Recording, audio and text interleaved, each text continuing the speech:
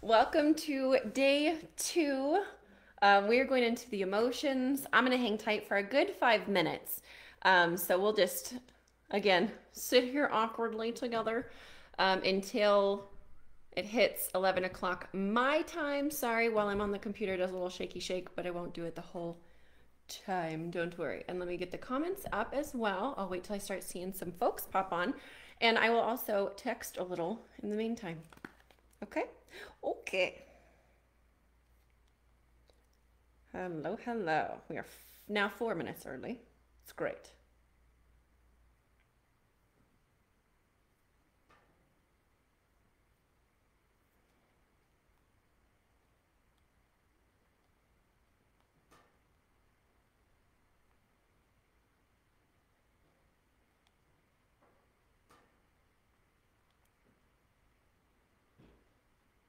Hello, everyone. Hi, Gretchen.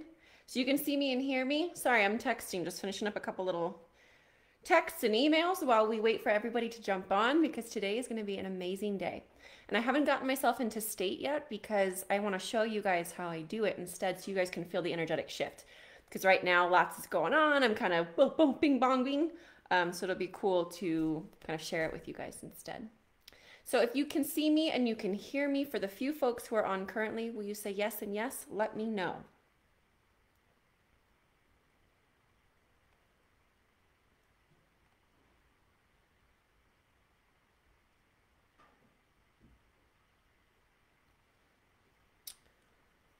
Hello from the UK. Hello, Eve.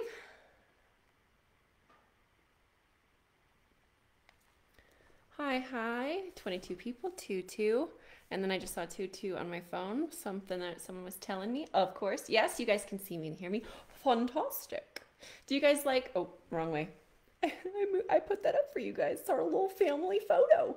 We're actually on the Heartland. Does anyone not know um, what the Heartland is when I say that, by the way? Because sometimes I'm a little in my own world and I forget that you guys may not know everything that I'm talking about. Okay, everyone's jumping on. Fantastic. Good morning. Hi, Mandy and everyone. I can't say the whole time, but at least I can see part of it live. Yeah. And for those of you who didn't see my post about it, because I know that a lot of y'all are all over the world, or people are still pouring into the group, um, and because they they were like, I signed up, but I never made it to the Facebook group. So I'm going to do an additional Q and A. You're going to want to make sure one that you stick through tomorrow um, as we talk about vibration and energy, that's like the most fun. That's the, that's the best part of manifestation. Um, but I'm also going to make a post after that for another Q&A. I'm going to give you guys a bonus Q&A probably Monday I've got like four interviews. I'm going to be all over the world on TV. So I've got to kind of focus on that most likely and I want to make sure my energy is conserved. So I'm thinking either Monday if I'm just jamming, otherwise Tuesday um, we will jump on for that Q&A. But I'll make a post for anyone who is at work or if you're um, you know sleeping at the time that I'm going live so that you guys can have some of your questions answered too. That's how we do that things in authentic living. You don't know the heartland. So, fun story. Talk about a manifestation. I'll go ahead and tell you guys a story while we're waiting for um, everyone to join us today. So, um, I'll, I'll kind of go backtrack, but it's a really, really cool manifestation in and of itself. So, Oliver and I, my husband and I, uh, many of you know him as the spiritual activator. I always say that just because sometimes people don't even know his name's Oliver because they're like, he's the spiritual activator. Um, and he's on the energy healing um, end of the house, if you will. And so, anyways, we were living in Laguna Beach and this beautiful home right on the water, you know, thinking like, this is it. Like, we've made it in life. All is well. Things are incredible. We were, you know, serving, serving, serving, just, just a really, you know, beautiful life. And for some reason, I could feel that we weren't supposed to be there, at least not forever. And so I was like, I don't know. I'm getting this feeling like, and I was getting really frustrated because I, I was like, we're not supposed to be here. Hello from Hawaii, Alaska. Amazing. Yes. Where are you guys all tuning in from? Arizona, Maryland. Let me know where you guys are tuning in from while I, I rattle off my little story until we get started. So, um, we're sitting there in Laguna Beach, and I'm like, I started getting all of these visions, and the visions were of what I call you know authentic lifers. So all the folks who take programs on authentic living, they become an authentic lifer. That's just, I don't know, it's what, what we call ourselves. And so I just saw these authentic lifers walking around land and I saw chickens and um, just like this incredible like community feel. It was so beautiful. And I was like, okay, well, if authentic lifers are there, then that's not like our home, but we're supposed to go somewhere. And so we were like, we're supposed to get a retreat center. So the Heartland, the authentic living Heartland, is the retreat center. Now we looked in three places, y'all. We looked in Ojai, California. We looked in, I think it was, um, was it Maui? I, I can't remember where it was in Hawaii, but it was oceanfront property, y'all. And then we looked, uh, and then all of a sudden, this little tiny place in Dolores, Colorado. I didn't even know that Dolores existed, but Colorado. And we were thinking Colorado is like the one that makes the least amount of sense because it's going to get snow. You know, a retreat center would have to kind of be shut down, or you're going to have to do all the plowing, and you know, there's a lot more movements to it. It's going to be, you know, all this logical stuff. So, anyways, um, we went and looked at the one in Ojai, loved it, but wasn't it wasn't it. Hawaii things were not making sense, and so that wasn't it. And so we go, um, we drive all the way to Dolores because this was right before COVID was um, COVID was COVID, but flights started getting canceled. We we kept booking flights, couldn't get there. So I'm like, we're packing the kids up. We'll make a vacation of it. We'll stop in Sedona and then we'll go to you know this little Dolores place. Y'all, that's like a 14 hour drive from Laguna Beach, and driving with at the time an eight month old and my son who he was nine or ten. I think he had just just turned nine. Um, and so we packed up uh, the car and, and we drove. We stopped in Sedona. We had a beautiful um, family trip. Kids were so happy the whole time. My little one didn't cry at all in the car. It was just this wonderful experience, very healing. And we get to uh, Dolores. Dolores. We get um, to, to the now Heartland. And we walked around. I think we probably saw like 10 rooms. It can sleep like 65 people. We didn't even go through the whole place. And my husband and I looked at each other and we're like, this is it. This is where we're supposed to be. the realtor thought we were crazy. I remember him calling me the day before we were closing because I didn't close in person either. I had to get back home to Laguna. And um, so I'm going to like the UPS store to sign it. And I remember um, one of my family members also calling me and they were like, there's going to be this crazy virus, like, you know, a little bit um, psychic. There's going to be a crazy virus. It's going to shut down the world. Don't, don't sign the papers. Don't spend, you know, save your money, fear. Blah. And I was like, God brought me here. God will see me through. Sign that sucker off. And I remember the realtor calling me, good old Bill. And Bill's like, um, so I just want to make sure like you you're really buying it. Like you you know you've only come once. You didn't even see the whole property, and he, I was like, I know what you're thinking. You're thinking either we're crazy or we're somehow going to scam everybody. And he's like, that's exactly what I'm thinking. I don't. I just don't understand. He's like, this is a, a large purchase, and I was like, it is, but you know something that you'll learn about us in this tiny town will learn about us is that we go by divine guidance and we're incredible manifestors. And if there is a ping that we are supposed to do something big or small, we follow it with our whole heart. Talk about a lesson for today, right? We're talking about emotions and heart. And it was so beautiful. And it's been such an incredible experience. We learned so much. We grew so much.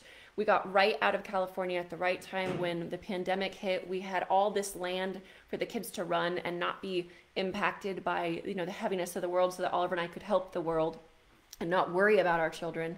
Uh, it was just so so beautiful. So we're talking about, you know, the heart and emotions today, and intuition will deeply fall into that, and, you know, faith and surrender. Okay, so, anyways, let's go ahead and get started now because it is 11.04. Oh my gosh. Okay, Netherlands, Canada, um, Ohio, Finland, Oklahoma. I'm trying to go upwards, backwards. Vermont, South Africa, France. Oh gosh, currently in Spain, but you're from the Netherlands. We have some amazing coaches in the Netherlands. I'm actually going to be doing, I think, an interview on Monday um, from a, a podcast, and she is from the Netherlands. Porto Santo Island, Nigeria, Canada, oh Canada. What a nice story and great that you were not giving up with so much struggles. How do you know that it was just an obstacle and not a sign to not do it?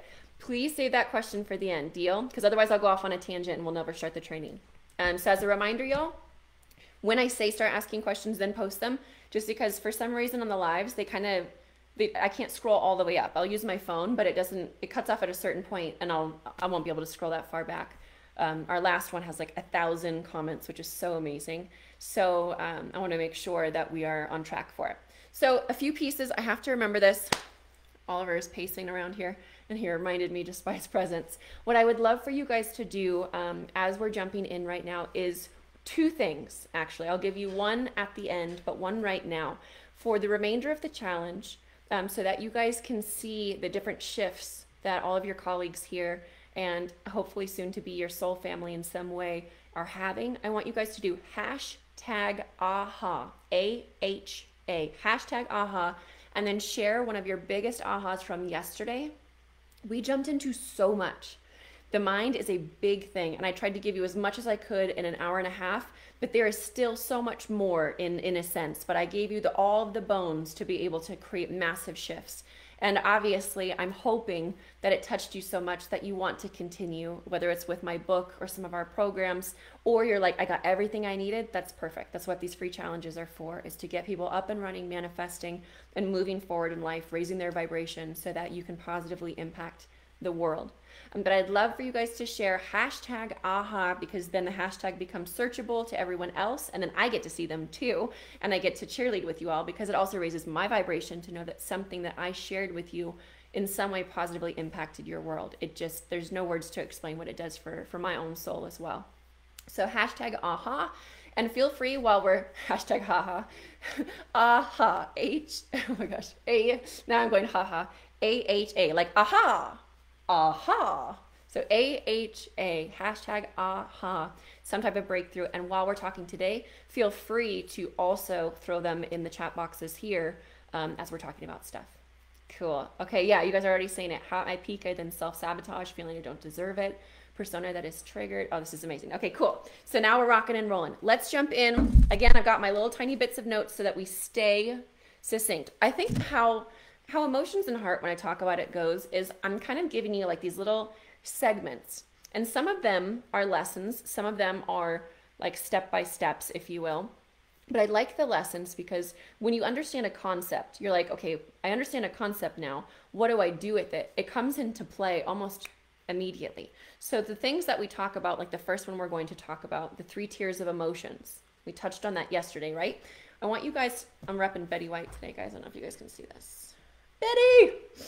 I'll do it like this so you guys can enjoy her beautiful face as well. Love her. Loved her, love her. Energy just gets moved around, it doesn't go away. So, any hoodle doodle. Um, when we talked about the three tiers yesterday, we're jumping into it in fullness today, but it's a concept, right? And you're going to see how some of the things we talk after that are going to fill in the gaps of the how to's. You might be like, wow, triggers, you know, fall into this particular piece and so forth. Cool? Okay, let's rock and roll. Welcome officially to day two of our three day challenge on how to raise your vibration so you can manifest fast, so you can manifest consistently. That's my favorite word when it comes to manifestations because we're all manifesting all the time. We learned that yesterday, right? How do we stop countering our manifestations? Stop counter manifesting. So, a huge piece of manifestation is emotions. I learned this in my early 20s from a very intelligent man who is no longer on this planet. He went off to do some other incredible things. He was actually an alien contactee for the government. That's that was the weird world that I lived in, y'all. I've seen some things, let me tell you, but I won't uh, share them right now. That's that's when we get weird at the heartland and we're talking about some stuff.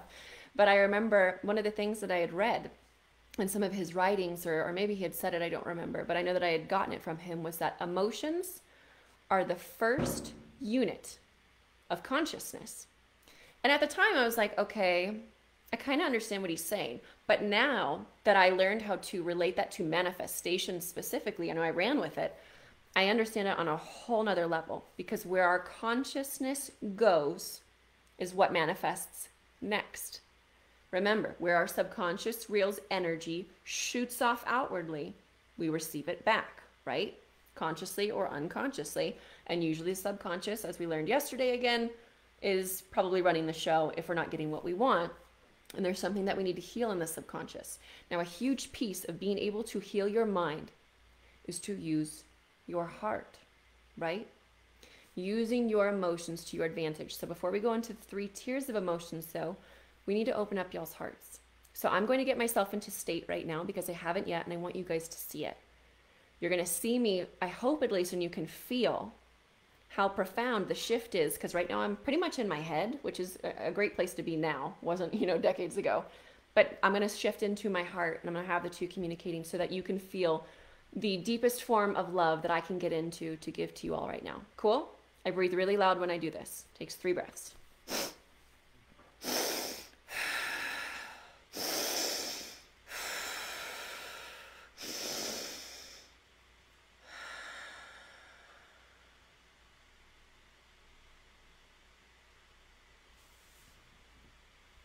Okay, so my heart is wide open now. You need to make sure that yours are as much as possible too. So I want you to play around with a couple thoughts here. First, and post below, do you think that your heart is open right now? I want to hear that. Do you feel that your heart is open? Or if you want to do a scale of one to five, how open is it? Five being like, I'm totally wide open, Mandy.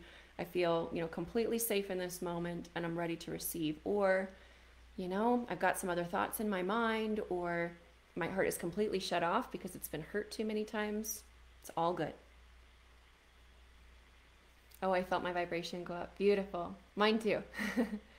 Opening. Yes, I do. Yes, my heart is wide open, totally open. Amazing. Ah, yes. Beautiful. Okay, cool. And if you're like, my heart is totally closed, that's okay as well.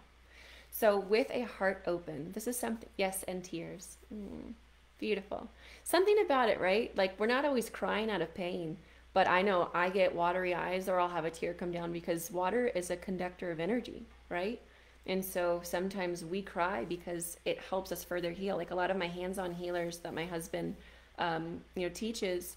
Uh, he teaches lots of different types of healers, but there's a lot of hands-on healers that go to him and their hands get really clammy or their feet get really like sweaty and stuff and it's just because they've got that healing energy ready to rock and roll. So uh, for me um, i'm not a clammy person but i also don't really do hands-on healing sometimes but um, it'll come through my eyes because that's just you know all of this this releasing or understanding or unconditional love or what you know whatever it is. Feels amazing. Okay so bear you are perfectly on time. Don't worry. Divine timing right? Um, we're just kind of getting into our heart space. And I think sometimes, at least for myself, when people would tell me like, "Oh, open your heart, get in your heart space," I'd be like, "No, thanks," and I don't, know, creepy, icky feeling. Like I don't even know what that means. So I'd realize that depending on the situation, sometimes my heart would be wide open, and sometimes it'd be completely shut down. And this lesson came to me in fullness when I realized there was I was actually pregnant with um, the littlest one that you saw, Zion, uh, yesterday. I was pregnant with him and um, my husband and I were just kind of like missing each other, you know, like we we communication and um, just we couldn't feel that deep connection that we typically have. And I was going through quite a bit, you know, pregnancy sometimes and babies bring in tons of growth, and I set a lot of intentions, so I was growing a, a ton during that pregnancy. And my heart started shutting off unknowingly. And I remember um, we were sitting on the couch together in Laguna at the time, in Laguna Beach, and um, I was like, if I envision my heart, and I invite you guys to do this really fast, um, my pets can even feel your frequency. That's so great. Um, uh, I, I, saw my heart when I, I kind of closed and I was like, what does my heart look like? And I saw it was like bones, like it looked like a rib cage, but it was like locked in. My heart was like, you know, very protected and locked in. And so I imagined when I realized, I was like, I'm shutting my heart off to my husband, and he was doing it to me too. We just you know, fell into a pattern that we didn't realize we were in for a couple weeks. And I just imagine my heart cracking right back, or, you know, the thing that was protecting it, I should say, cracking right back open because I had realized that in our attempt to protect our heart, typically from, you know, trauma or being taken advantage of or thinking that our heart is weak, right? I realized that I was ensuring the pain and the deeper need for protection. And so those, you know, rib cages were going to eventually turn into a brick wall. Um, and I'd spent most of my life, you know, in that space and had cleared it. And then, it, you know, it tried to sneak back in a little bit. So I invite you all to right now say, okay, is there any blockages in my heart? Does it feel truly wide open? And what scenarios? Does it not feel that way? You can post those below too, because you'll probably see some relatability here. But what causes your heart to close? Right? And what I had seen, I mean, talk about the truth of it, my vulnerability, my ability to open my heart so much And what I was saying yesterday of um, I want to trust myself or I choose to trust myself so much that I can be around anyone and still be me, still have my heart open. The magic that comes from that when you embody that, when you choose to see and feel that you are safe no matter what. And your heart is meant to stay open, right? Your intuition comes from your heart.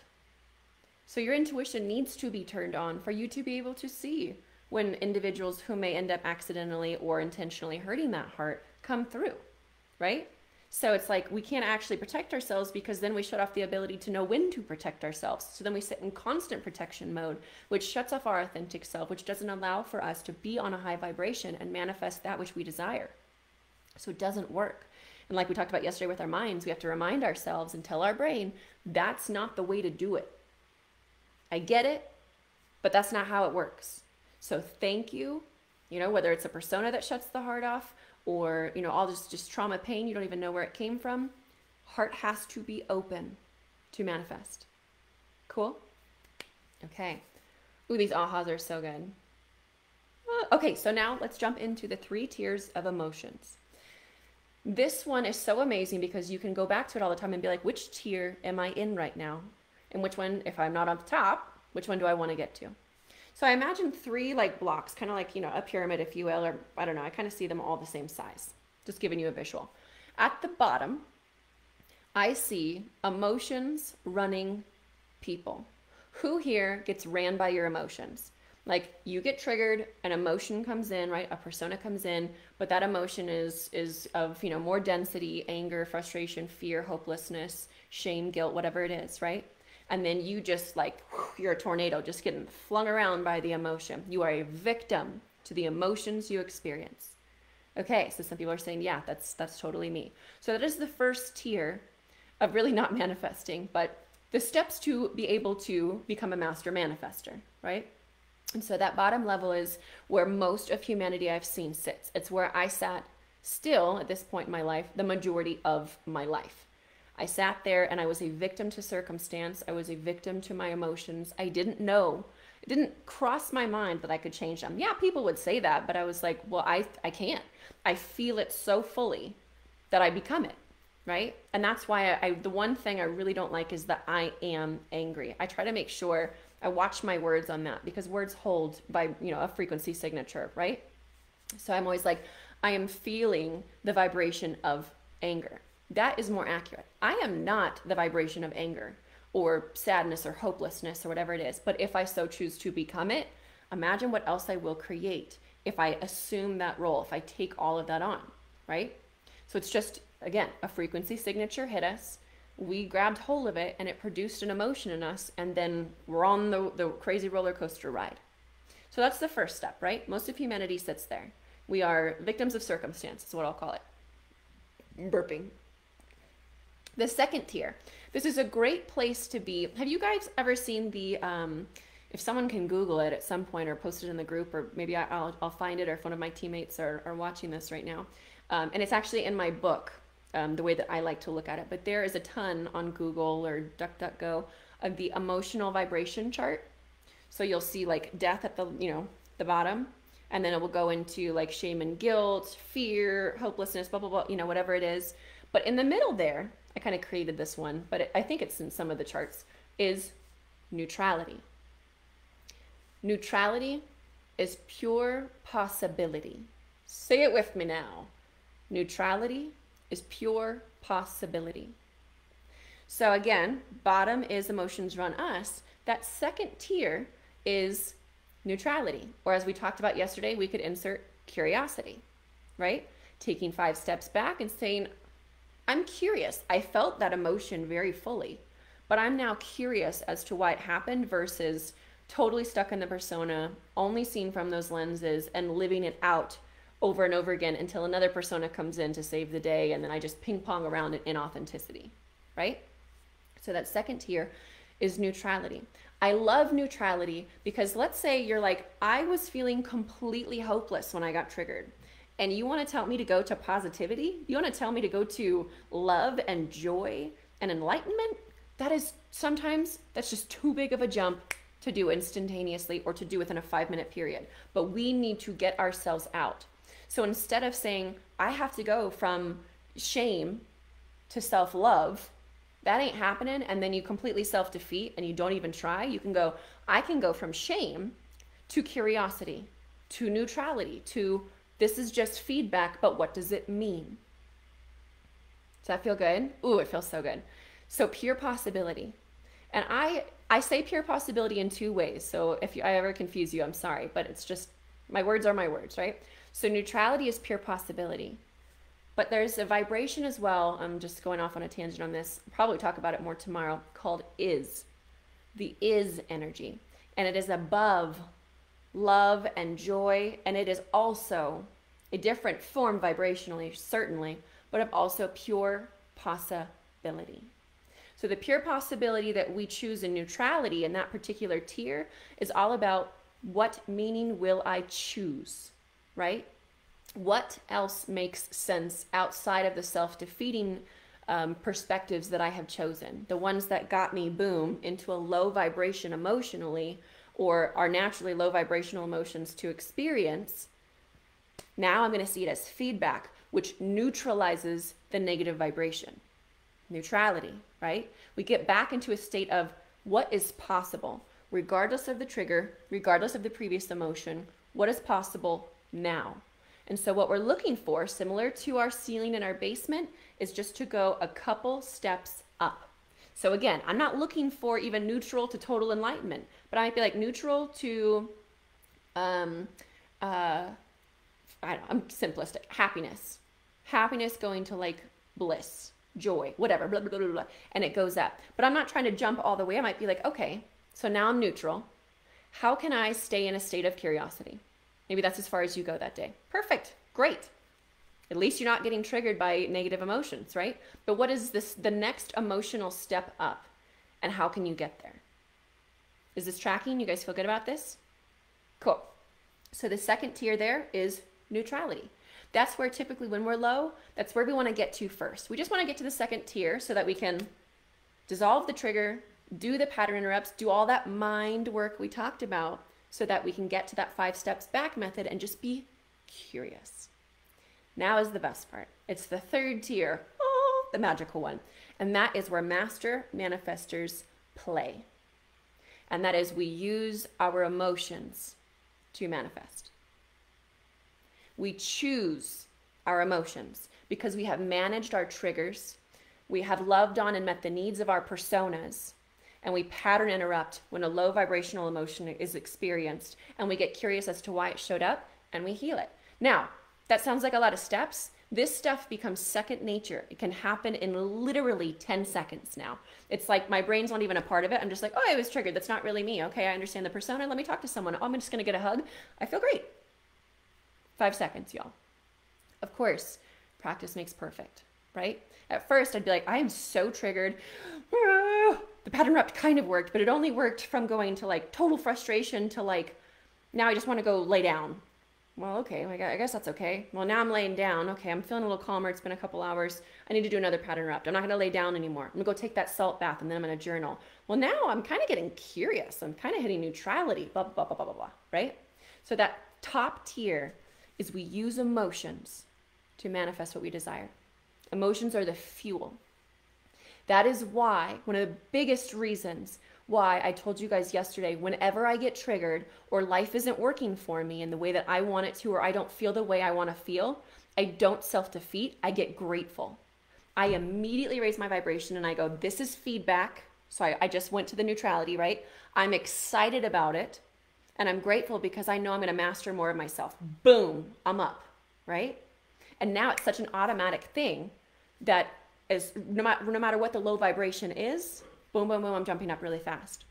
Guys, I did this when my dad died. I did this when uh, my daughter, I, I miscarried her. I've done this with the hardest and the most simplistic of things. It works every time.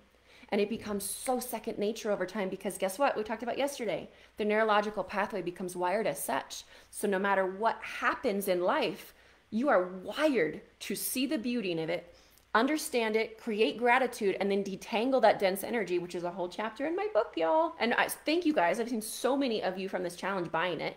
We have a whole nother group and challenges in there too. So it's about to get crazy fun.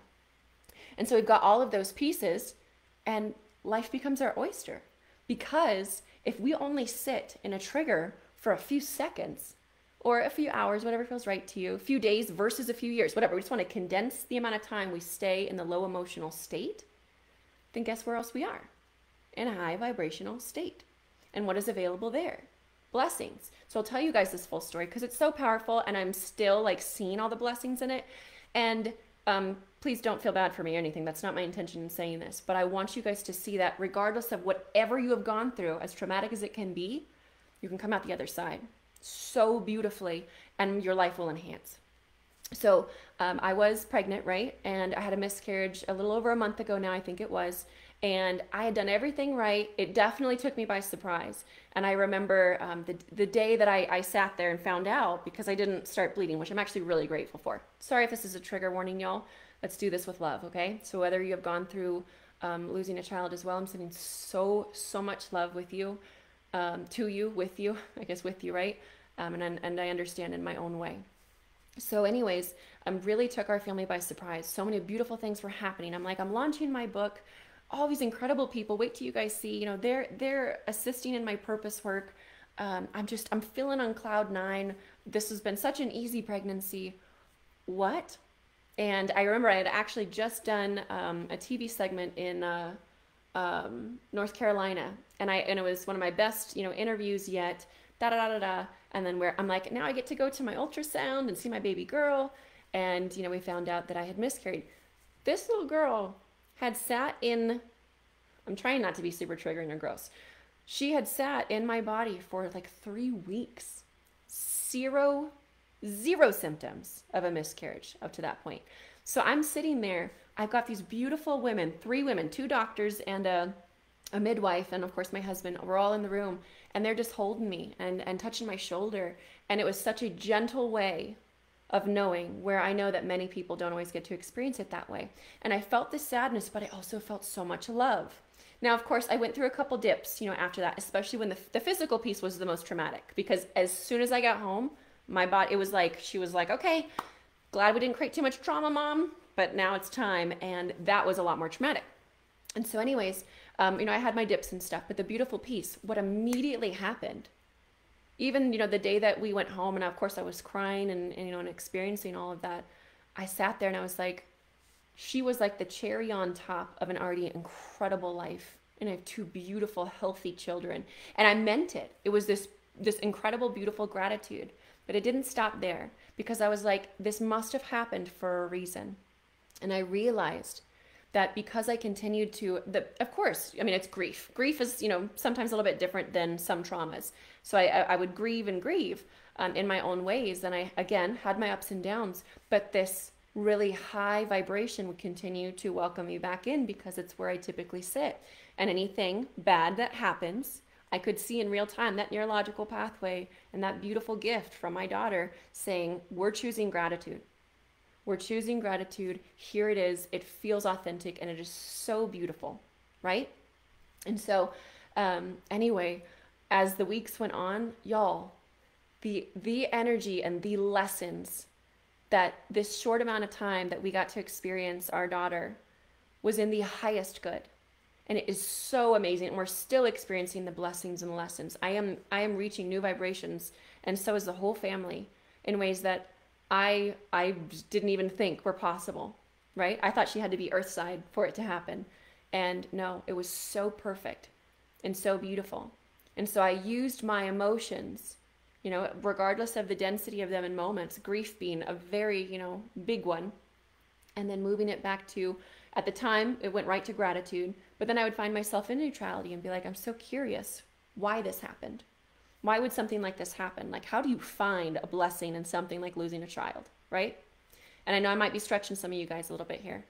And and it took a moment. You know, it's been four weeks now, so I guess not that long. And then there might be more waves of grief. I'm I'm prepared. That's okay. Um, but I feel like at least right now that's probably not going to be the case because I chose and saw and leaned into the blessings and the flow of the universe so much that it's like it could have been no other way.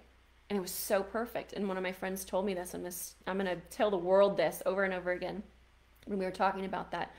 And she said, Mandy, I wouldn't say this to most people. She's like, but I know that you would understand it. You know, there's no anger in you in, in these regards. And she's like, in a very, very, very high vibration, this was the most beautiful thing that could ever happen.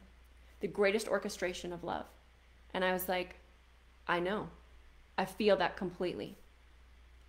That is the beauty of being able to manifest all that you desire in the highest good of all and being able to shift your emotions so that regardless of what life may throw in you in moments, it's just gone like that. It is turned into and transmuted into something beautiful. And as love beings, light workers, whatever you want to call yourselves, humans on this, you know, having this human experience, souls having a human experience, y'all, it's so amazing when you can transmute the density of the 3D and move it into higher vibrational spaces, higher dimensions and your heart being open to receive and shift the emotions that it experiences is key. So, okay, going back in, that top tier is the full manifestations, right? We are using our emotions, we are seeing them for what they are, which is feedback. We get curious about them. We throw them up on a whiteboard and go, hmm, why would I choose this? This is weird. Oh, that's because of that thing over there. Well, that's not really authentic anymore. Do I need that? And we play around with it and we move, you know, we, we literally move matter around in our world so we can produce new matter. Right? This is fun. Okay, so that's one lesson. We got a lot more to go. I was like, we'll be shorter today. We, we still have 30 minutes before the hour. Okay. Okay, so let's go into, we'll kind of jump into a little bit of science piece. This is just a little snippet to remind you the full process here, which we'll dive into again tomorrow just to like really hammer it in. Yesterday we talked about we experience a frequency signature, our mind does something with it, right? So same thing, let's add to it. We experience a frequency signature. Maybe our boss yells at us, maybe it's an intrusive thought, um, maybe a trauma from the past, whatever. Something comes in and triggers us, but we see it as a trigger because we resonate with it for some reason, right? Some people don't get triggered when something happens. Like, I don't have a boss, but if a boss yelled at me now, I'd be like, well, I'm out because this is kind of toxic. Like, why yell? Let's have a conversation, right? But it wouldn't bother me. I'd just be like, sounds like they're, you know, they're dealing with some things and they're going to learn how to be a better leader. Would not affect me. But others, if they feel powerless, they might be like, this is horrible. Or they've got some type of resonance with that trigger, which is why it produces a response, right? And so, again, you experience some type of signature, but it resonates with you, so then it causes a trigger. And there are positive triggers, y'all, but we're talking about the ones that cause counter manifesting in this particular challenge, right? And so then it causes a negative or dense emotional response. So that creates that emotion, and the emotion gets communicated, and neurohormones get released, right? So then our body is flooded with a very physical thing, right? A chemical reaction, if you will. And those hormones are now flooding in our body and further creating the vibration of that which is, you know, what we're sending off. I call that the dominant frequency effect. You guys talked about, or you guys, you guys hopefully have been doing your um, emotional check-ins. I was talking about how do you feel yesterday and so forth. If not, let's go over it again set an alarm on your phone. This is also a part of a chapter in my book. Energetic check ins, unbelievable for being proactive about your triggers. What do you also be proactive with them? Your emotions, because the trigger causes an emotional flood, right? A hormone flood, a, a thought process, thus a frequency, right? What we send outwardly into the world. So we want to make sure that our dominant frequency is positive, right? It's okay to have those moments of dips. I go into them sometimes and then I get myself right back out. But it's not like two seconds of a dip is going to completely sabotage everything because my dominant frequency is still positive. And I remember thinking about this. Um, I was talking to one of my friends who's a physicist. This was years and years ago. And they said, the world looks as it does. You know, there is war, there is famine, there is pain, and all this stuff because dominantly, Earth vibrates at a dense and a low rate because we're primal, because we want money. There's too much greed. There's too much, you know, incorrect power. It's just, there, you know, there's some yuckiness. There's still plenty of beauty. It is a beautiful world. You can live in a different dimension, absolutely, and, it, and you experience the world differently. I, I can attest to that. Um, but he had said, you know, the world has a dominant vibration that is negative. And so he, you know, we kind of went down and up, right? We were started a conversation about it. So the first piece is all of us here, um, you know, all 271 of us that are on live right now, and myself, so 272, right? We have a collective consciousness right now. It's pretty darn high, right? you guys can feel that? So, all of us together meeting in this way beautifully enhances a higher vibration on the planet. The more we shine our light, the greater and further that that energy goes. I should probably save a little bit that for tomorrow, but I digress. But that experience, that collective consciousness that we have is high vibrational. But let's just say that we were all, let's say I came on here and I was just complaining, or I was talking about my miscarriage and making you guys all feel bad for me, right? And then we're all feeling really sad and we're all feeling the vibration of grief and da da da da. Then we'd have a dominantly negative frequency, right? Now let's take, um, let's just pretend like we're all in the state of Colorado. You guys are all in Colorado with me. We have the state of Colorado. We make a very small fraction of it, but let's just say the state of Colorado is also dominantly negative. And then we have the United States, and then we have the planet. So there's these little groups of collective consciousness, and they keep, you know, growing outwardly, and we are all parts of a whole. But planet, eh, this is what he said, obviously, and I'm not saying that I agree or disagree. But planet Earth has a dominantly negative frequency, and so as it sends outwardly into the universe, the universe brings it back, and we get hurricanes and tsunamis and um, disasters and you know more more pain sometimes. Now, I also understand, and this was where him and I uh, got to help each other, right? I understand the full power of the mind, and that I mean, literally, I don't know. I wasn't there when Jesus or Buddha or you know a lot of um, spiritual teachers in the past were here, but they sounded pretty awesome, and I can feel their energy and I can feel their vibration. You know, long after they're gone, whether it was you know a full embodiment, whatever that is. And one person, please remember this, everybody, one person with their light fully illuminated can change the entire planet. One person can change the entire planet if they are in a high enough vibration. That's why we have to do these things together. That's why we have to ignite our light because the planet benefits for years and years, you know, to come, as if, you know, time was really a construct, right? Okay. Anyways, so I talked about that. Okay, so this is going to be how we're going to also shift. We're talking about shifting our emotions, right? I call this God's lenses or higher self's lenses. You guys can use source, universe, higher self. I, I don't think God is like Zeus in the sky sitting on thunderbolts or anything. I just, the word I really like. To me, it means source. It doesn't have a gender or anything like that. And so, uh, you know, play with whatever you want. But basically, we want the highest vibrational perspective here. So I call it God's eyes or love's eyes. Da da da da da. Um, so you'll see me say that interchangeably.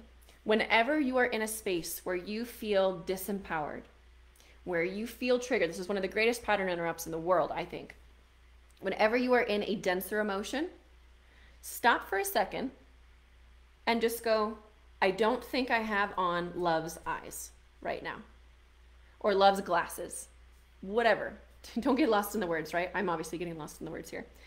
And whatever lenses you have on, you can literally imagine, you know, you take them off and put on love's eyes, put on God's eyes, put on source's eyes, put on the highest vibrational perspectives, lenses that you can. You better throw them suckers on and see exactly what is happening from a different space. This is a great way to get to neutrality or to more quickly jump all the way up to master manifestations, right? Because the only pain we have is when we choose a perspective that doesn't serve us, right? And you could have a lot of things going wrong in your world. I understand. But the perspective shift will change what is in front of you and eventually make it cease to exist or instantaneously make it cease to exist, right? I remember doing this with a woman who was um, being abused very badly, and her, understandably, her lenses were uh, very, depending on which lenses, there was a couple, but some of them included um, I can't leave him because he said he will kill himself. Um, if I leave, he will hurt my children. Um, he, yeah, it's just, just tons and tons of stuff, right? He needs me, all of that stuff. And so um, I, I that we went through this lenses thing and I was like, okay, so what lenses do you have on, right? And we called it a name and everything. We had this incredible, you know, beautiful understanding of it was a very specific, you know, bundle of personas, and we called it that. And then we, she was very, you know, kinesthetic in her pattern interrupts. So we did the physical piece. We literally made some little fake glasses. She takes them on, puts them off, and so forth. And she's like, oh, I'm seeing through. I I can't believe I can't remember the exact personas. It was like Betty or something. It reminded her of her aunt. And she'd be, Betty, how weird is that? Um, and she would put them, maybe that's a Freudian slip. Um, and so she would take them off and be like, okay, I got to take these, these lenses off. Okay, let me put on, you know, my, my sources lenses. All right, let me see the situation differently. And then she'd, I mean, boom, she'd be like, I have to leave. I have to leave him, and here's how I'm going to do it. I mean, it was an incredible shift of energy where she just saw it for what it was. And I believe that when you're in those higher emotions or you're, you know, choosing to shift your state in essence, especially to a higher perspective, that information, boom, that energy flows right in and will shift the emotions needed to make the decisions that are also needed. So, regardless of whatever triggers you experience, whatever density you have, just play with the idea. To me, it's a total fact and truth that you're just looking through the, long, the wrong lenses. The perspective needs to shift. And it has to feel right, right? We can't lie to our brain, but it does have to be a couple steps up on that emotional scale that still makes sense to us, but that feel more light and more right. Light and right, light and right. Cool? Oh my gosh, your guys' feedback is making me so happy. Okay, cool. We did that piece. Da, da, da, Okay, we kind of talked about this, but I want to I want to hit it again. It's like why why having your heart open is so important. And I know that most of you said my heart's totally, you know, I know Betty White's on my shirt, and, and then I said Betty. I'm wondering now if I'm just saying that, and I it just got into my brain because I really don't remember. But I know she had an aunt with a it was Barbara. Anyway, I digress. So having your heart open. Many of you said that your heart is open. I understand. But if there's any times where you find that your heart has shut down, if it closes, depending on who you're around and so forth, even in those moments, like I remember times where I'd be, this was actually when um, I was working clinically and we were in Scandinavia, and my husband and I, he was my um, boyfriend at the time, and we were riding a bus, and there was a woman there who, um, you know, she was suffering mentally, you could tell, and she would like I, I think that we kind of thought she might pull out a knife and start stabbing everybody. She was angry. She was talking to herself. Um, she's had so, to me, I just saw pain, right? And of course, she sits like right in front of us because the bus seats, like, you know, we were heading to the clinic and the bus seats face each other or whatever. And um, I just was like, okay, a part of me wants to like get up and, you know, go somewhere else because I'm fearing for myself right now in case she shanks me. But another part of me was like, I can see so clearly when I put on God's lenses that she needs love in huge doses, and I felt like I was the one who was supposed to give it to her. And so instead, although my heart was like, I was like, stay open. and so I kept that sucker open and I poured love. And we had a beautiful conversation. Um, and uh, she, she, had a Coca Cola, and it went from her trying to throw it on everybody to her just like sitting and holding it, you know, and we had this, you know, I think it was probably a five minute conversation. I don't know. But she felt the frequency.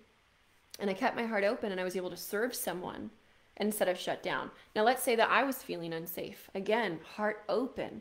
Because when you feel all the feels, you can differentiate them, you can transmute them and elevate them. Just because you shut your heart down does not mean you shut off the negative emotions. But the funky thing is, you actually shut off the good ones. Isn't that weird? So, what you're trying to do is only feel the good and shut off the bad, but it literally does the opposite. You still feel the pain because being small and protecting yourself does not feel good, right? If you truly think about it, like, who wants to do that, right? Like, in your higher self, at least. Who wants to sit there and constantly have to protect themselves and look over their shoulder and shut down their heart and not be their authentic self and not be crazy and wild and expressive and, and whatever they want to be? That feels terrible. But we try to avoid that because we might get it rejected or it's been painful before or someone, you know, took advantage of us or hurt us prior and then we carry that with us. We keep our hearts closed thinking we're protected, thinking that then we'll only experience the good and there's no good, not at the level that is possible when our hearts are open. And so um, I remember talking to um, someone who was really struggling with PTSD. He was a he is a veteran. Um, I work with a couple veterans, obviously, and um, when very you know uh, he's macho. Like you don't express emotions you know didn't even know he has a feminine side or that feminine didn't mean female. It was a really really cool conversation not ones that i typically have um, because they've gone through so much of my work. They're like got it right? And we're just we're running um, but it was a cool experience. And um, when uh, i talked about this and i was like your heart is so shut off. And he knew that much but i was like so how's it working for you how much pain do you experience every day that you think you're shutting off that is constantly finding you? And you know you might think that you're really strong and you're you're macho by not expressing your emotions but i was like i can tell you right now and i, I used you know my husband as an example because i thought it was perfect. I was like my husband's in touch with his feminine and his masculine side and he's incredibly balanced and it is the sexiest thing about him. And he's like what? You know? And i'm like heart open dude.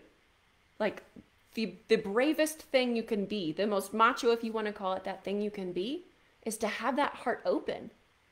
Think about the strength that comes from that, right?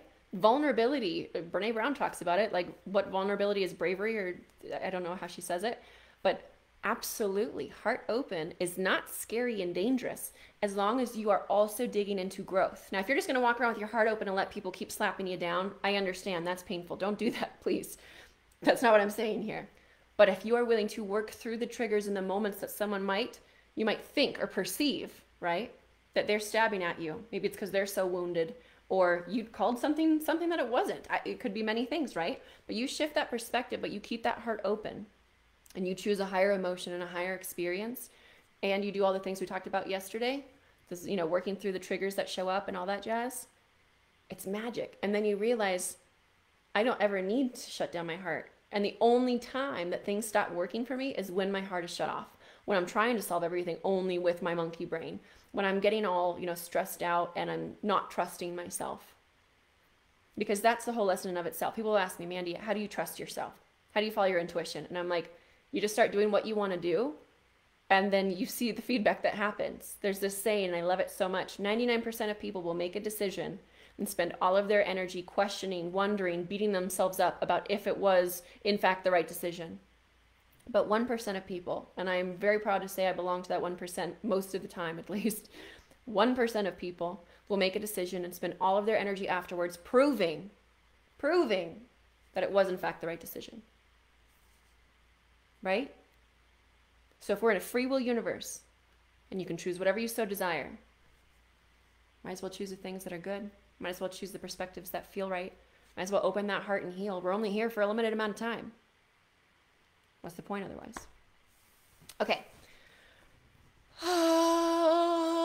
dun, dun, dun, dun, dun, dun, dun. Okay, last piece specific to manifestation and raising your vibration. The reason I love the open heart, processing your emotions, transmuting them so that your heart is open. And I mean, scientifically speaking, we know that the heart has um, a, a, larger electromagnetic field, right? You guys have seen that, the HeartMath Institute studies and all that jazz. So, from a physical level as well, our aura, our energy field is felt more greatly when our heart is open. Our hearts, pew, they go out further because our auras are like, typically speaking, depending on the person, about 18 inches outside of us. Um, and you can measure your aura and how far it is as well. Um, usually, especially when I'm teaching, mine's like 25 feet out. I've got a you know wider range. I'm reaching more people, right? Maybe it goes to all corners of the universe technically, also. But you know that personal aura thing, right? But the heart, especially when the heart is open, the energy is like boom, universe, feel me, feel me faster. So I want you guys to remember this and just play with this saying. The heart doesn't work with time constraints. What I mean by that is the heart doesn't know, doesn't care about, doesn't follow the rules of the constructs of time. Because a lot of people, when they want to manifest or they need to heal or raise their vibration, they automatically go, it's going to take time. It's going to take a lot of time. And I actually have the gift of bending time. It was given to me a couple years ago. I use it very sparingly because it does some really crazy things. It's one of a, a new spiritual gift, if you will. But I learned so much about the incorrect understanding of time And time is actually related to our energy, how we send things outwardly. When people say, like, live in the now, live in the now, it's probably annoying because people say it too much, but it's true. Because when we are present, time does not exist in the same way. But what happens when you're present? You're in your heart space. The heart space doesn't think about the future or the past, at least not in defeating ways, right? The mind cannot live in the now. It's always reliving the past or fearing for the future, especially the monkey brain part. Again, we want our minds to eventually get to a healthier place. Subconscious heals, heart and mind work together. Boom, manifestations immediately. Time doesn't exist.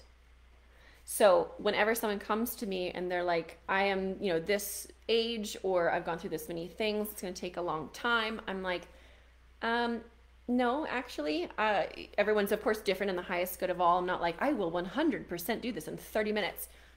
But y'all, I've seen people completely shift their energy and forever moving forward in their lives at some of our events within a 20 second shift. And this is my saying it doesn't take 10 years to make a change. It takes a second, not even a second. It's instantaneous to shift your energy to make a change. It takes you 10 years to make the decision to fully be embodying the change. But you can embody the change like that, like changing a radio dial. You're just finding literally a new frequency and it's coming in loud and clear. Okay, you guys love that. Beautiful. Okay, so now I'm going to open up for a couple questions. Go ahead and throw them up. That wraps up our day two on emotions and heart, how it relates to raising our vibration and manifesting all that we desire in the highest good of all.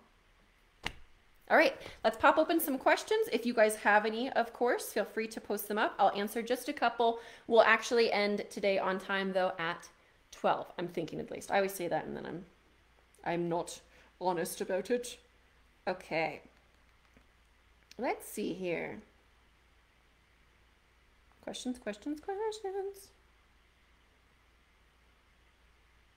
I love this. Your guys' comments are so fantastic. Okay, I don't see any questions yet, so I'll hang tight for just a couple minutes while you guys are typing them out. Take your time. Lots of ahas. Don't forget hashtag aha. And what I would love to ask you guys to do while you guys are throwing any questions that you have um, is could you also, if this feels right to you, not just in the thread here, but for today as well as yesterday, I want to see your hashtag ahas. What breakthroughs, and you could also do hashtag breakthrough if you'd like, um, but I want to see what really resonated for y'all. What shifted your energy so greatly um, over the past two days that we have shared together so that, again, I can celebrate with you. Okay, a lot of you are asking, um, I'm seeing it here and here, where to buy the book. The eight secrets.com. That's where you'll get all of these bonuses. There's like well over a couple hundred dollars of bonuses. We have a whole Facebook group. Uh, it's it's freaking amazing, and you guys will continue to get more and more goodies. Um, but the eight, and it's just the numeric secrets.com. You can please go grab the book because I am so freaking excited about it. And y'all, um, so I don't know, for those of you written books, you know this already, but you get early copies and then you get to send them out to different like friends or uh, you know, people that are going to be a part of the promotion. And everybody who has received the book and started to, you know, open it and read it, the feedback, like, I, it makes me like almost cry every time. It took me years to write, you know, the, the book is, it's, it's, it's really incredible. It's got a lot, a lot of goodies and it's very, very structured. Like we go over the science, the psychology of manifestation. Um, you know, I was telling you guys yesterday, like Marcy Shimoff, she um, loves the book. Um, I won't say everyone's names. I want you guys to just follow me on social media so you can see all all the people who are reading it. But the feedback, um, people have been reaching out and they're like, "This is like my new Bible, man. I'm I'm reverting back to this. This is so incredible. This is I can feel completely different. I feel your love. I feel you know it's all this stuff where I'm like, it worked. Every you know all of my intentions for this book, whatever it's supposed to be in the highest good of all, it worked. It's freaking cool, man. Okay. Um, questions, questions, questions looking for question marks. That's okay. We answered that. Is there a way to watch both parts again, please? Yes. So if you guys missed yesterday, um, just search when you go into our, our group here, the three days, you're going to go to the, the search bar and just um, type in day one and you'll see yesterday's. I have so much I've learned today. I'm very happy. Thank you so much. Can you raise your vibration enough to help someone else? Yes, absolutely. And when you only focus on your vibration, that's that's my rule. Like every time that I wanted to save a family member or a friend or whatever, I was like, the best thing I can do is become the greatest version of me. Shine my light so brightly that they go, "What are you doing?" or "Wow, you've changed a lot." Instead of, you know, talking at them or trying to shift them and then they throw up a wall cuz they're like, "You know me too well" or "I know you too well." Instead, I just showed them what embodiment looked like. Um, how did you get over needing to know the why for your miscarriage? I chose my why, I guess. I mean, for for myself and my own experience, at first, yeah, I was like, why did this happen? How could this ha- this is so bizarre.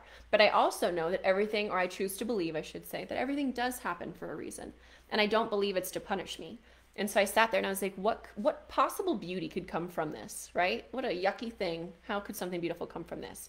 And you know getting myself out of victim mode right and all the all the pain of that. And it took you know a couple days and off and on it would you know fluctuate like i said. But me understanding wow i have an opportunity here. Let me listen to the little tiny whispers that are showing up in my life right now. Let me lean into them and let me see how can i live for my daughter and enhance my life in such a way so that i can still feel connected to her and all the blessings that i knew she would have brought in if she came fully earthside how do I live that out anyway? And that became my why. Um, how to keep your heart open when work when you work in a toxic environment. So, first things first would be ensuring that it's truly toxic, right? I mean, if people are literally talking down to you and they're angry and they're all this stuff, then one, remember, if you are the more charged battery in the room, if you will, you can juice others up, but I don't I don't expect or I don't think you should like sit there and do, you know, tons of acts of service or try to lift them up, but you just stay in your little bubble and you're like, this is my world. And if that's that's the thing too, right? What's the lesson? So if you're like I'm in a toxic work environment, do I just quit and leave, which sometimes might be the answer? Like what's the lesson though? Are you going to recreate it? Will you end up in another toxic work environment? If it continues, if it's a cycle, then there is a lesson versus something that's just simply not meant for you. So, uh, for example, the cycle of toxic relationships I would get myself in, at some point I have to go, okay, I might be a part of the problem here. What the heck, man? But that doesn't mean that I should stay in those relationships. But there was a lesson I needed to uncover. And it's, the cool thing is, as soon as you learn the lesson or you uncover the root, if you will, and you make those, you know, little or big changes that are needed, never happens again. It's beautiful. So I would urge you to be like, okay, why would I be in this space? Do I need to honor myself more? Am I supposed to go start my purpose work and start my own business? Um, do I need to love on these people? The answer could be anything, but your intuition will guide you to what is the purpose of this? Why is this showing up in my life? Is it to enhance and move me forward, or is it something that's simply not meant for me? Okay. How is the best way to send love to a loved one, my partner, who is struggling with depression? This is such a good question. How would I answer this? I'm going to say it the same way, and sometimes I answer the same question differently depending on the energy I feel from each person. I would still say, you, sh- oh, sorry, you shine your light. You shine your light as bright as you can. You're a safe haven for them, and you show them what's possible. What does a life look like without depression? Awesome. You guys are answering everyone's questions about the book too. Okay.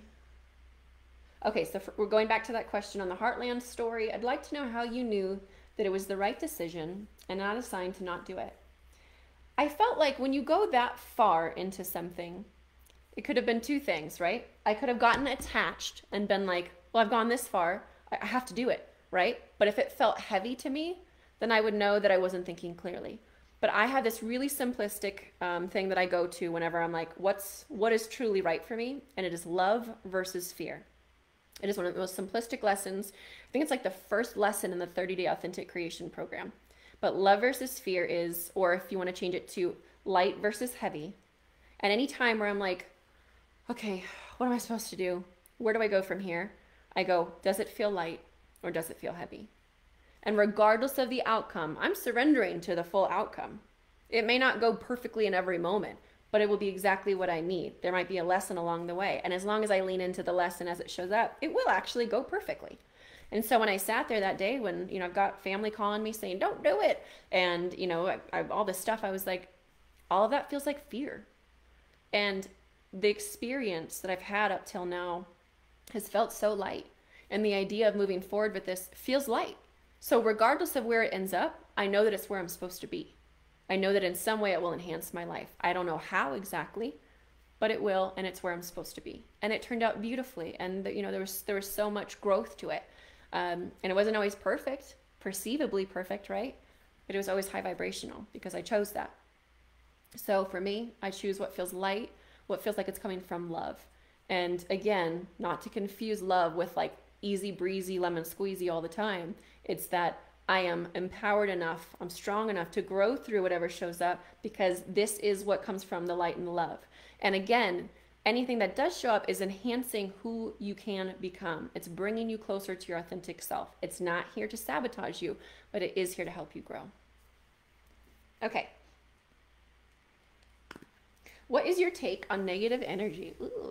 Um, so, you know, I have worked with a lot of different people. I have worked with the people who have done the bad things, and of course, I have helped the individuals who have had the bad things done onto them.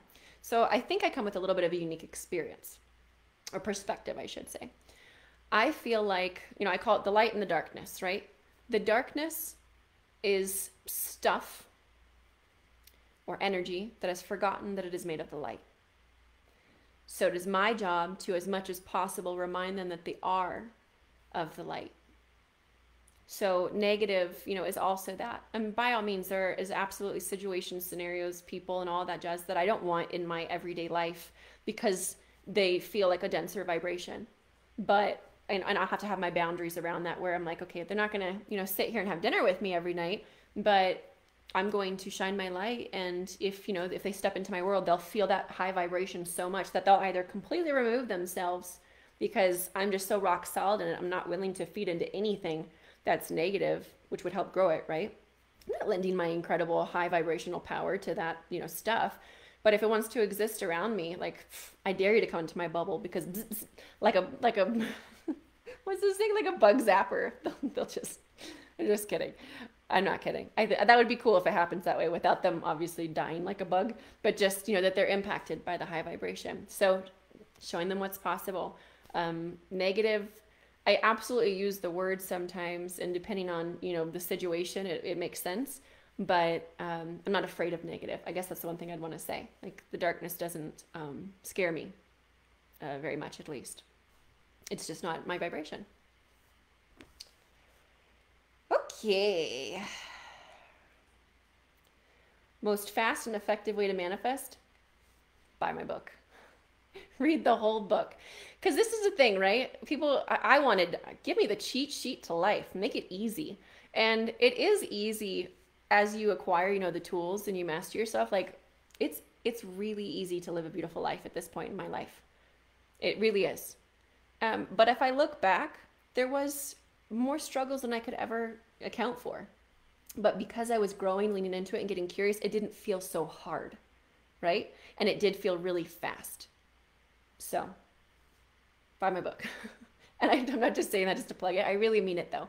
Um, it's it's the most comprehensive way to get all of that energy and all that understanding in one place. And depending on how fast you read, or if you listen to the audio book, it'll probably take you like two days. Um, although you'll probably want to listen to it over and over again. That'd probably be your your jam.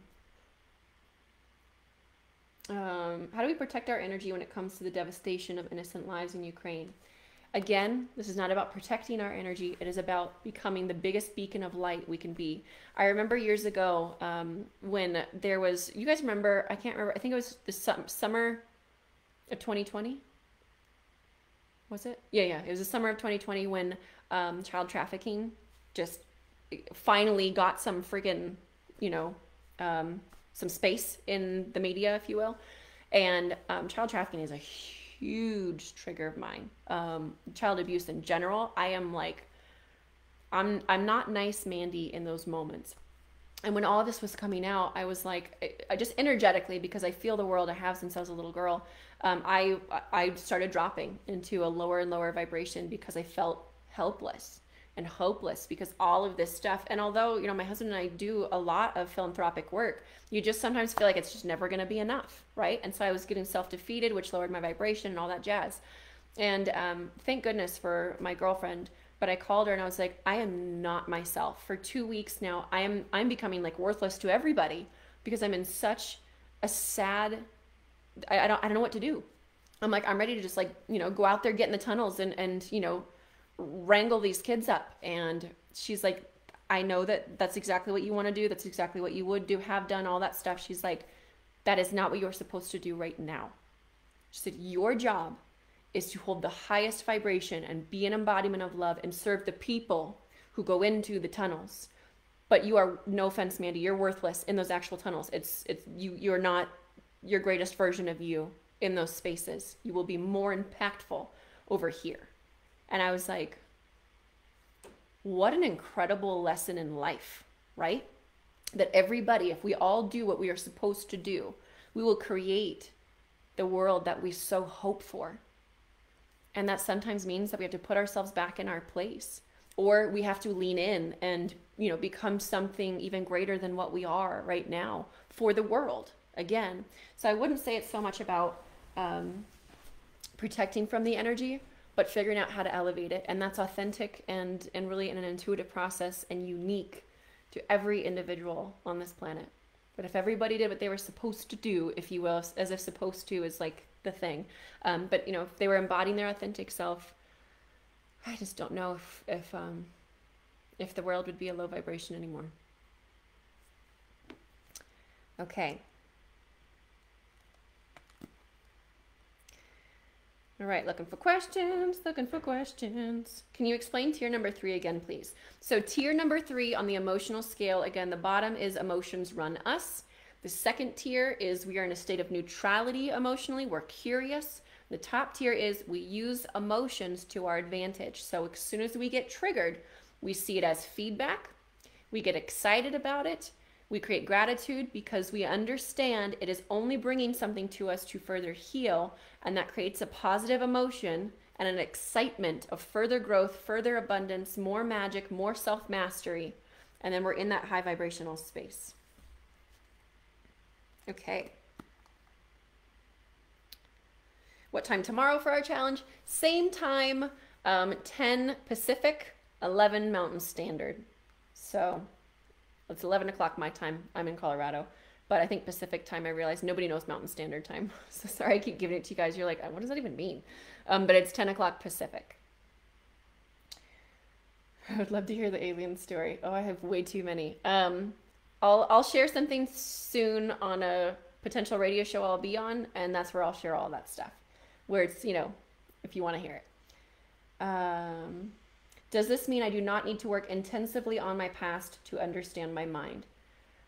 In the way you're asking it, no, you don't. Your past is still going to come up, to, you know, to to be like, "Hi, can we, you know, talk about something?" But my philosophy is let's work on the beliefs that show up today. They may be rooted from the past, but for example, um, unfortunately, I've, I've experienced rape. If I had to go back into the room and relive the rape, I would never, I don't think I'd ever heal. One, it would trigger me back into the full vibration of that, you know, terrible experience. And two, I wouldn't be able to get out of it, right? And so instead, I'm like, okay, what beliefs did I create from the experience that I have in the now? Because there might have been some things that you didn't pick up, right? And some that you did. So instead, I like to look at what's not working in my life right now. And regardless of where it came from, what's my beliefs in the now? What's the thought process? And let me heal that. And I've seen it kind of retroactively heal the trauma so you don't have to go back into it. Can we still access day one? Yes, you can. Just search for day one in there. I saved it. How did you get started with sharing your messages in paid venues? My story is actually a funny one. I don't know if it's like most people. Um, back in 2015, I was starting to make videos on Facebook, just on my personal page. I had moved to Florida. I had, uh, for a short while, escaped a very abusive relationship and got a new job and thought, you know, I was on cloud nine and I had no money. I had this little apartment. I was sleeping on the floor. My desk was like a turned over cardboard box. And I was so happy. So freaking happy. That's actually why I think I started talking about the authentic self because for me, I always was a people pleaser. So I didn't even know who I was you know so for me to be away from my family away from everything i'd ever known i used to live in arizona and going all the way to Florida, just that physical distance, I thought, oh my gosh. And for a short while, it was amazing. I met who I really was, and I liked her. I really liked her. And then unfortunately, um, that abusive relationship followed me there. And for a short bit, um, thank God I had my clarity for a little while. I'm always, I always tell people, I'm like, just get away from the situation for a minute. But so even if you get back into it, you can see the incredible difference in the duality of the realities. Um, but you know that kind of happened there. But anyways, I was making videos in that time where I was alone and just discovering myself and just sharing it with like my few friends because I was a little lonely. I'm, I moved to Florida. I didn't really know anybody, and so I would just make videos on Facebook. Um, and I was very socially awkward, uh, introverted, believe it or not. And so I was like, well, if I can just sit in my own house and you know make a video, I'll still feel the connection, but then I don't actually have to like go out and make friends here because I don't know how you make friends. Do I join a group? That sounds really awkward. No way. And so I would talk about um, energy and um, what I was go- going through or growing through. And I was just sharing. It's probably similar to this, except for I'm a lot more confident now. I have a lot more to say, that's for darn sure. And um, over time, I uh, ended up meeting, well, kind of meeting. This is the shortened version, so hopefully it still makes sense because it's a lot to explain. I ended up um, meeting my now husband, who became my best friend and he actually told me he's like i love your videos but what are you selling? And i was like i'm not selling anything. You know my my feeling of like oh that'd be terrible to sell something. I was like i'm just trying to help people and like because i helped myself and you know I'm, I'm still figuring all this stuff out. And he's like well you should be selling something. And just the way he said it i was like you're so gosh darn right. You are so gosh darn right and that led me down a journey of eventually offering uh, very different things to, I've grown so much and I'm so blessed. Authentic living has grown incredibly over the past, you know, seven years. But, uh, and, and people say that they're like, how in the heck did you guys do this this fast? And I'm like, manifestation, hello, personal growth. I always say like, if you want the greatest self growth, be an entrepreneur. And if you want to 10x that growth, be an entrepreneur in the self development industry woo, it's amazing. So, anyways, um, and I just I started offering my services. Some people um, dogged me for it. Some people didn't want to buy. Some people loved it. Um, but it was it, I just I just grew, grew and grew, and realized that it was you know my purpose work. And I just kept going where I was led and um, pushing myself you know greatly outside of my comfort zones, and um, eventually moved into higher and higher spaces. But that was, you know, a progression over the years. Hopefully I answered that well. Uh, da, da, da, Aha, the heart does not exist in time. My husband gambles and lies to me. How can I stay in a good place vibrationally? This is probably one of those moments where you go, okay, what's the lesson? And is this something that I want to continue? Like what what vibration do I want to be on and which one am I currently choosing? And what would the steps look like towards getting into a new vibration? But I won't tell you specifically what to do. What's the name of the group for the book? Um, the Eight Secrets. Basically, Eight Secrets to Powerful Manifesting, the name of the book. Um, but you guys will need your order number to get in. So just have that handy as well. I want to make sure that everybody, you know, is, is growing with us. When you shift the frequency during a stressful moment, say I told you guys we're going to go past 11 or 12, whatever time it is. When you shift the frequency during a stressful moment, is it the outcome of the conflict able to be changed? Absolutely. Absolutely. Because again, conflict typically occurs because one of your personas are dancing with one of their personas. But if all of a sudden your persona is unwilling to do the salsa, they're dancing solo, right? So, yes, absolutely can change. And you know, something that I've realized is more often than not, even if it's not their human self in moments of conflict, their soul self is waiting and hoping that somebody's to go first. I noticed that in my family. Like, we had plenty of trauma, as, as we all do but I started healing it. And I mean, I, I got backlash for it for a wee bit, but I kept healing it and kept leaning in and having the tough conversations and saying how I felt. And most often, more often than not, um, it, they didn't say this specifically. Well, some of my family did, but they're like, someone had to go first. Like sometimes your family or your friends or your coworkers are like, is somebody going to show us the way? And what if that's like the soul contract in and of itself? How beautiful is that, right? But yes, the conflict can change.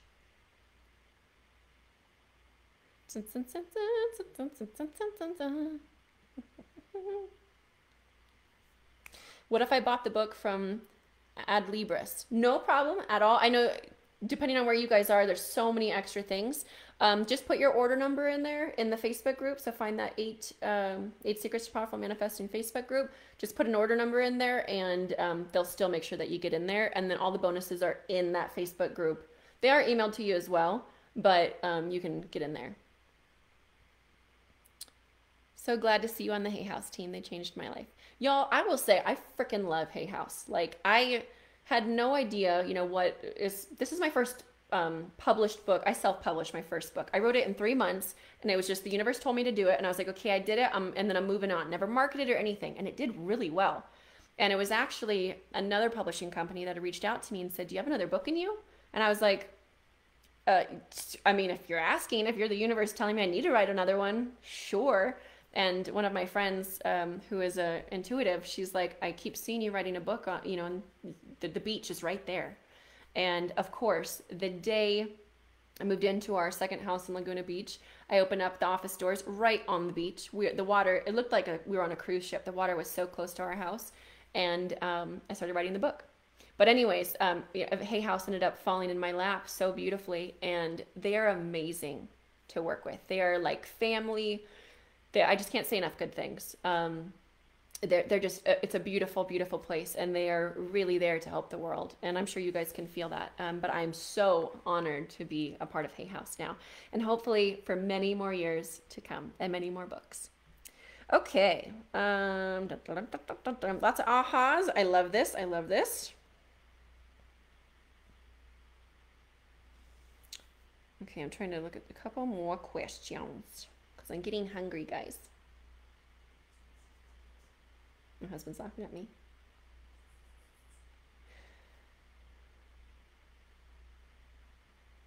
How do we how do we keep our mind in the present? Because it keeps riding the wave back and forth between the past and the future. Let's keep it super simple at first, y'all. When I find myself like reliving the past or anticipating a negative future, my biggest now is working with my five senses.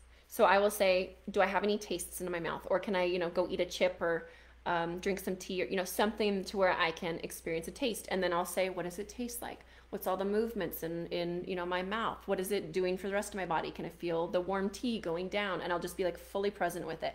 What do I hear? And I'll spend a couple minutes in each sense. So I've been mindful for by the end of it, at least maybe 10 minutes.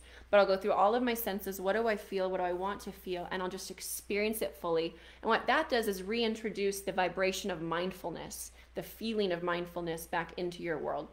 So that's the way I'm going to answer it today is just jump back into your senses and what is truly in front of you. And that will help you get back into the now. And I do that a lot with my PTSD folks also, especially um, like sexual assault survivors or veterans. We're like, okay, hold on, because sometimes the trigger can be so you know you you feel it physically, physiologically. It's everything's happening again, right? So we stop and we say, what's actually truly in the now?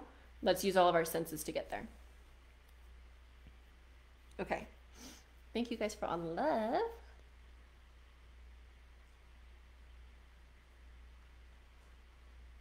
Question How do I shift? I love when people even type out, they're like, I'm getting frustrated because I don't know. Ah. Question How do I shift the belief once and for all that it takes time to manifest and I'm always looking for evidence? And if I don't see it, I feel skeptical and frustrated. Ugh, how do I stay out of my head? I think it's okay to ask for signs but be be able to listen to the signs that also include action. So for myself, I know that if I'm going to ask for something, if I'm going to be so bold to ask for something from the universe, you know, from the universe, whatever, if I want to create something, there may be a couple potholes along the way. There may be something I need to learn about myself so that I don't just get the thing, but I embody the frequency in which it exists on so that I can keep it, so I can stay there. That's the bigger piece here, y'all, is again, always being on the vibration. It's not like, well, I got the Ferrari one time, but I can't even make the, the payments a year later, right? We need to embody the vibration of the things that, you know, currently exist on that vibration. And so if you're looking at, you know, your question, you're like, I want evidence, that's okay. Also ask for signs to move towards it, because that's normally what you might see like the butterfly. You're like, the signs are my, uh, uh, butterflies are my signs. Cool. You see the butterflies. You're like, it's on the way. And then you're like, it never showed up. What the heck, right? Or it's been five years or something. Again, divine timing, if that feels light and right. But most often, you also get moments of growth so that you can meet the vibration of it because you probably aren't on it yet or you already have it, right? So then you go, okay, so if I, let's say that all of a sudden I'm like, I want to be a billionaire. I want to be a billionaire. I don't know that vibration yet. So if I set that out, if I do, and I'm going to talk to you guys about set it and forget it manifestations tomorrow, huge manifesting tool. So y'all better tune into that. Let's say that I set it and forget it. I want to be a billionaire, right? Just for simplicity's sake. Well, I haven't been there yet. So I need to introduce myself to the vibration. And if I'm setting it up, well, then there's probably going to be some things that are going to show up that are not here to deviate, but they are going to help me move forward. So, what I really need to do is make sure that I am clear and aware and paying attention to any signs that do need to show up. Does that make sense? So, I might be like, I want to be a billionaire or whatever. And then, um, I don't know, a seminar pops up from some billionaire. I don't, it could be that simplistic. That'd be really like nice if it was that easy every time, right? Um, or maybe, um, you know, someone triggers me about money and then I fall back into a persona. But really, I'm like, oh, wait, that was a trigger that was showing me that I still have a money block that I need to get through to become that, right? So just pay attention to the signs and lean into all the growth that pops up after you set that intention. So I think that's probably where people get stuck more so.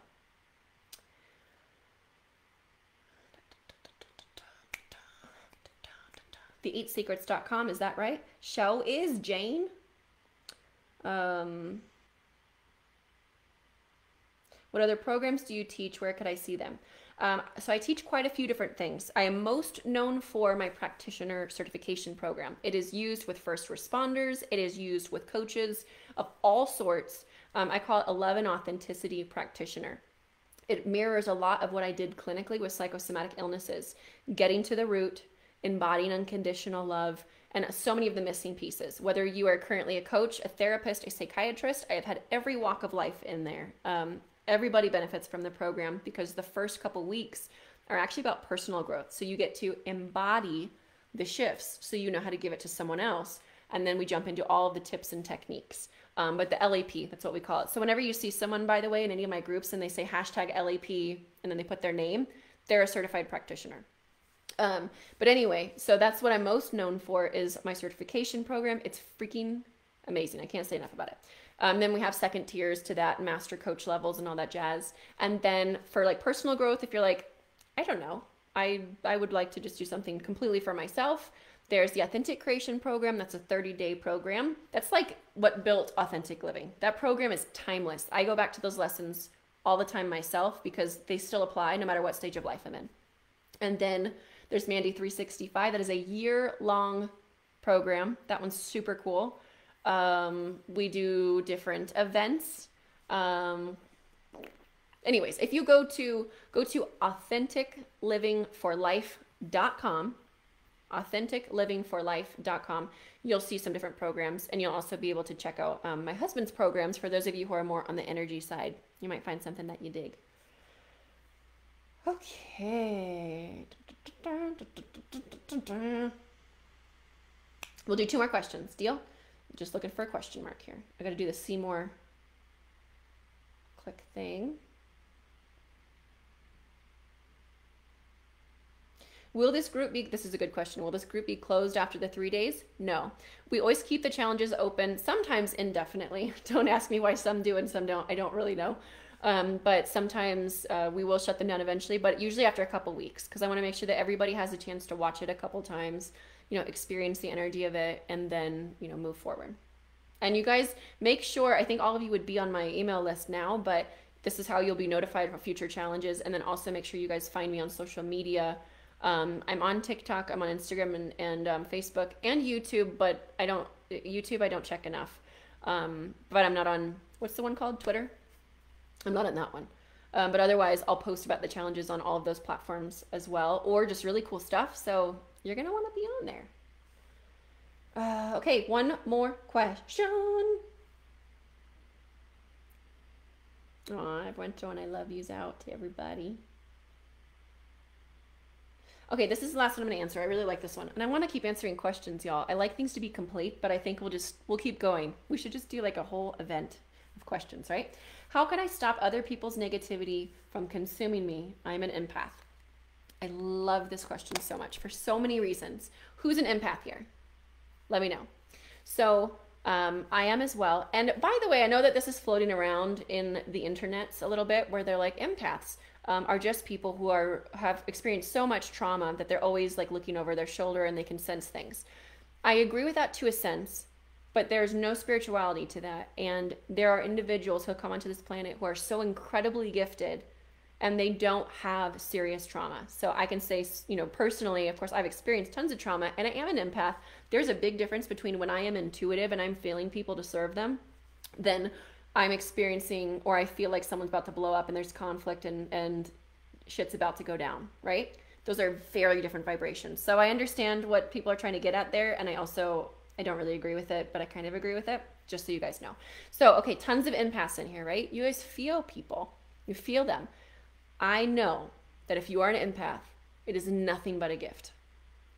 By all means, me as an empath years ago, I didn't have the tools. I didn't I don't I didn't even know I was an empath. I was just like, why do I feel like shit all the time? But ultimately, I was experiencing everybody's energy around me. So I made sure one, still important to this day, I'm alone a lot. My mornings are sacred. I make sure I know who I am today. I know my energy and then I can introduce others, right?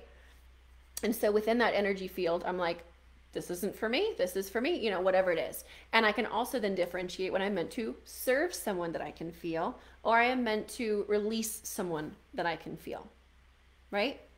So, as a beautiful reminder, if you are an empath, it is a gift. See it only as a gift. And as you master empath, which is do I serve them? Do I not? How do I honor myself? How do I know my energy so well? and you know stay solid and i'll tell you guys i can i truly can pretty much hear people's thoughts most often it's one of the things i was known for in the clinic they're like how did you know that she was thinking that or that that was her root and i'm like i just ping pong around and understand their whole the way their brain's wired i understand their thought process i get why they think that way and i know how they got there i don't know it's just an intuitive thing it's a gift it has helped me help so many people but i choose to use it as a gift and then I clear my energy more often than most, perhaps, because I need to. That's why I live practically in the middle of nowhere. I like to be alone. I also love company. I choose my company wisely and I serve. So I use my empathy or my empathic skills to serve people so that I can touch them, I can feel them, I can create deep connection. And then, like, after this, I'm probably gonna go upstairs for a minute. I'm gonna journal for a wee bit and I might like run some water over my hands just to make sure okay, I'm back to me after, you know, I shared with hundreds of people or thousands of people, right? So, if you're an empath, even if it's debilitating you right now, stop seeing it as a curse. You're just surrounding yourself with the wrong energy. That's all that's happening here, which is a gift that you're now aware of that. So the only way to go is up.